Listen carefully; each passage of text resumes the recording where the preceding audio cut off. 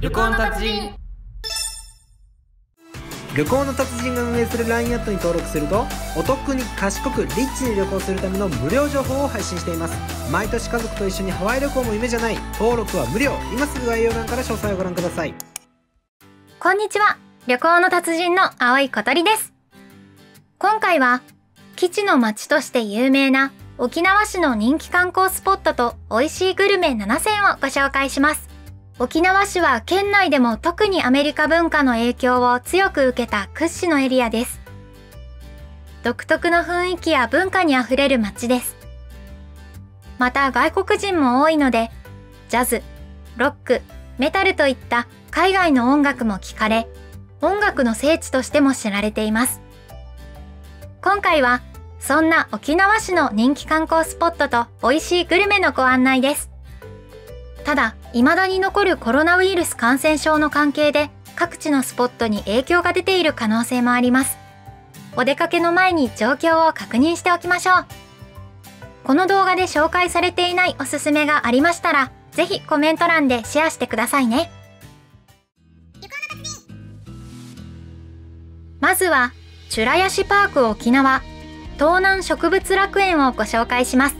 チュラヤシパーク沖縄、東南植物楽園は、昭和43年、1968年に開業した植物園です。約1300種、5万株以上の熱帯、亜熱帯の貴重な植物が鑑賞でき、日本最大級の屋外型植物園となります。園内にあるのは植物だけではなく、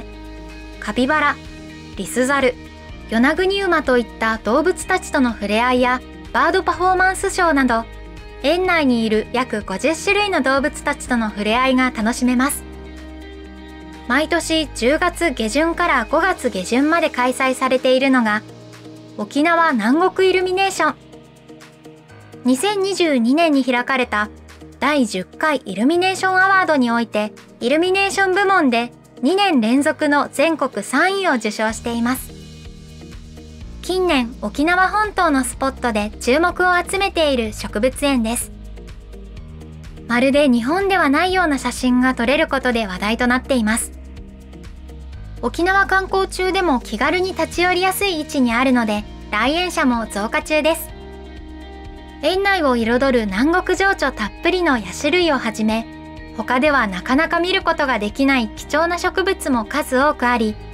美しく咲き誇る色とりどりの花々も楽しめます。続いてご紹介するのは、倉敷ダムです。倉敷ダムは沖縄本島中部を流れる二級河川、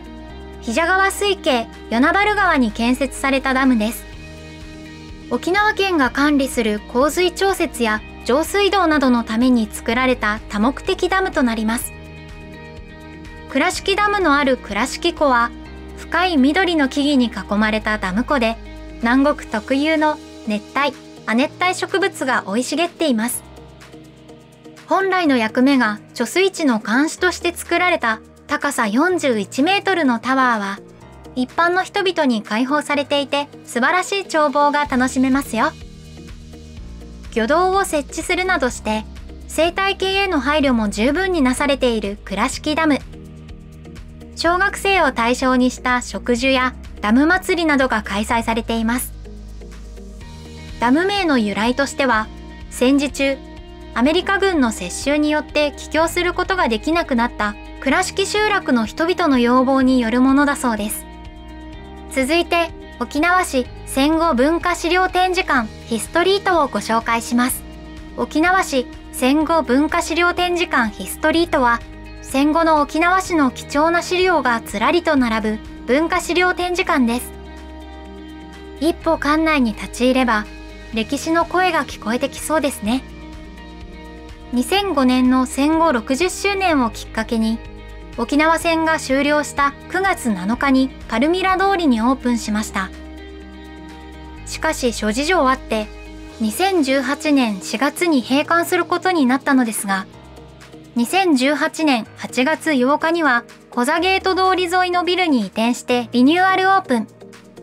そしてただ移転しただけではなく、展示内容も充実させています。沖縄市は戦後、米軍基地から様々な影響を受け異文化との接触によりたくましく独特な文化を形成してきました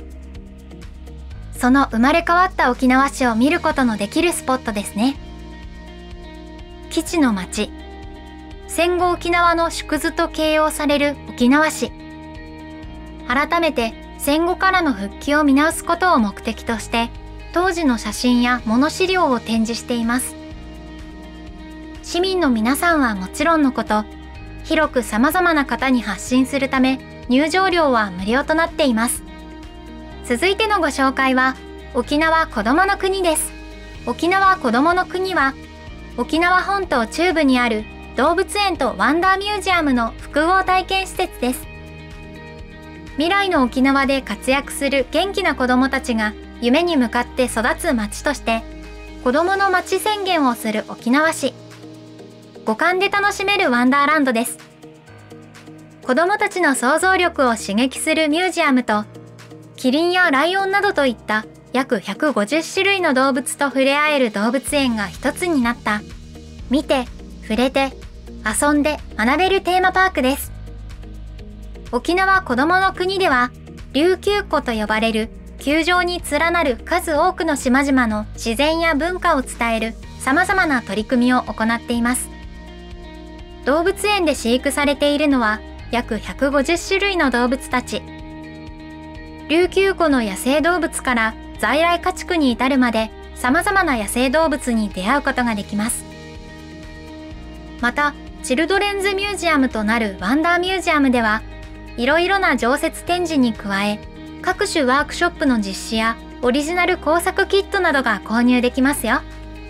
続いてご紹介するのはセニョールターコです。セニョールターコは30年以上の歴史を誇る老舗のタコス店です。タコスといえばやっぱり沖縄市と言われるほど。外はバリバリで中はもっちもち。独特食感の特製ジェルが人気の秘密です。インチロードやブリードなど本格的なメキシコ料理も味わえますよ。沖縄のソウルフードといえば沖縄そばやゴーヤーチャンプルーなどが有名ですがしかし忘れちゃいけないのがこのタコスに代表されるメキシコ料理なんですよ。セニョールターコでは1984年の創業以来変わらない美味しさが地元の皆さんの胃袋を支えてきました。複合型ショッピングセンターのプラザハウスは日本で最古のショッピングセンターです。そこにオープンして約40年弱。センターと共に歴史を刻んできたタコス店セニョールターコ。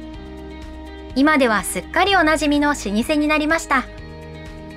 店内にはタコス発祥の地メキシコを連想させるようなグッズがディスプレイされています。続いてはグランド食堂のご紹介です。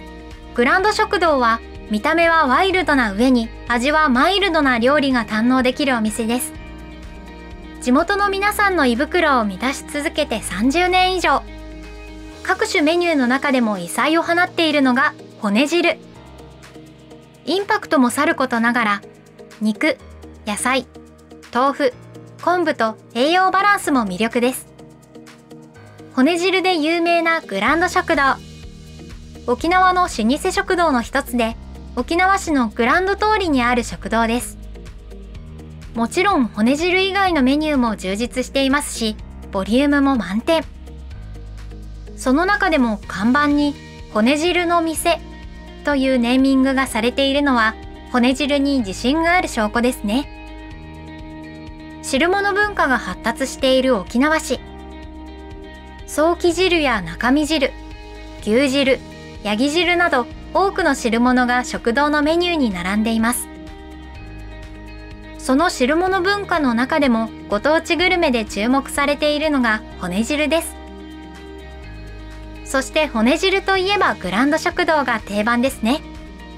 次にご紹介するのは松本食堂です。松本食堂は美味しい食事だけではなくお腹もお財布も大満足できる食堂です。30年以上前の創業で現在のオーナーは5代目という老舗の名店。おすすめの看板メニューはとんかつハンバーグナゲットなど。中でも人気なのがカツカレーと焼肉定食です。店内にはテーブル席とお座敷席が配置されています。なんとなく懐かしい雰囲気にあふれていて昔ながらの食堂といった感じですね。座席の間隔は広めになっていますのでゆったりとした食事が楽しめます。松本食堂のメニューはどれもお手頃価格で種類も豊富です。これこそが食堂といったメニューが揃っています。松本食堂の最大の特徴は何といってもボリューム満点の量です。人気のカツカレーはなんとカツが2枚も入っています。出てきた瞬間これは大盛り？と聞いてしまいそうですが実際は普通盛りなんですよ。サクッとした衣にスパイシーなルーが美味しいと評判です。今回は沖縄市の人気観光スポットと美味しいグルメをご紹介いたしました。いかがだったでしょうか？沖縄市はアメリカ文化の影響を強く受ける街です。エメラルドグリーンが決まり文句の沖縄県でありながら海に面するエリアが少なく沖縄らしいビーチは見られません。それでも自然に恵まれた場所が多くダム湖や山間部のキャンプ場などで水遊びが楽しめます。そして沖縄市はご当地グルメでも知られています。人気観光スポットに定番のグルメ。沖縄市を訪れて満喫してください。旅行の達人が運営する LINE アットに登録するとお得に賢くリッチに旅行するための無料情報を配信しています。毎年家族と一緒にハワイ旅行も夢じゃない。登録は無料。今すぐ概要欄から詳細をご覧ください。最後までご視聴いただきありがとうございますよかったらいいねボタンとチャンネル登録をよろしくお願いします。